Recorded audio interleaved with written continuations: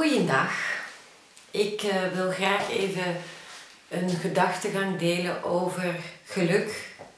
Gelukkig zijn, de perceptie van het geluk en het gelukkig zijn. Zeer moeilijk te definiëren, beide zijn uh, vrij ontastbaar, vooral het geluk. Hoe definieer je dat en wanneer weet je of het geluk je toelacht al dan niet? Ik denk dat dat uh, lastig is.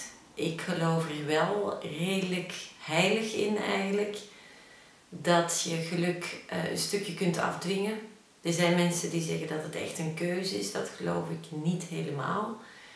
Maar ik geloof wel dat situaties, gebeurtenissen, dingen die je overkomen, mensen die je ontmoet, dat dat zaken zijn die je als het ware aantrekt, die op je pad komen met een reden.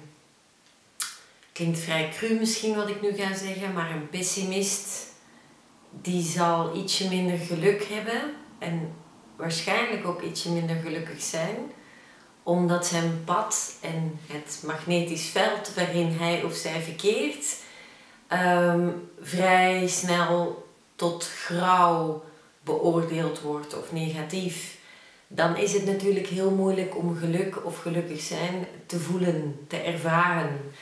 Het gelukkig zijn zit hem soms, en dat is een cliché, in de kleine dingen.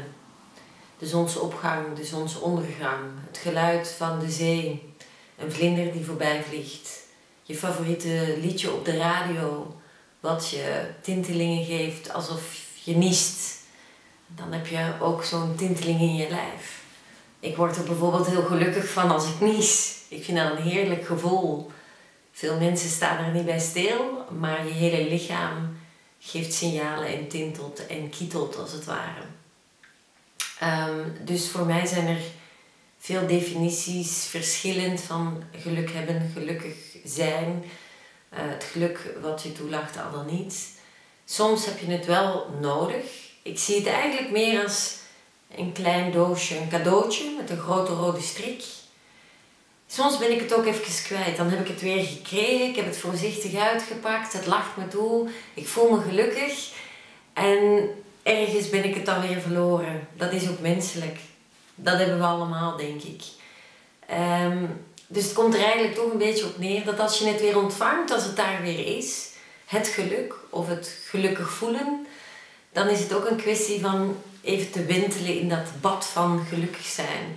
En dat zo lang mogelijk ook vast te houden, omdat er altijd weer nieuwe impulsen komen. Dat heet nu eenmaal het leven. Wat soms het geluk of het gelukkig zijn, het gelukzalige gevoel weer even van ons afneemt. En ons misschien zelfs een klein beetje ongelukkig doet voelen.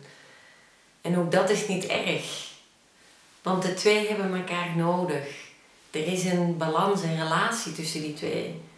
Gelukkig voelen, gelukkig zijn zou niet bestaan zonder het gevoel wat te kennen van je ongelukkig voelen of ongeluk hebben. Het zijn twee bijna yin en yang factoren die uh, ons leven in of uit balans houden. Hoe je het zelf wil zien, maar het maakt wel onderdeel uit van ons leven.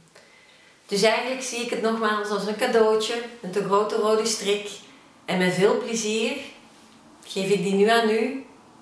En ontvangt u hem van mij. Hier is het cadeau met de grote rode strik. Ik zou zeggen, pak het voorzichtig uit. Hou het vast, het gelukzalige gevoel. En super veel plezier. Toi toi.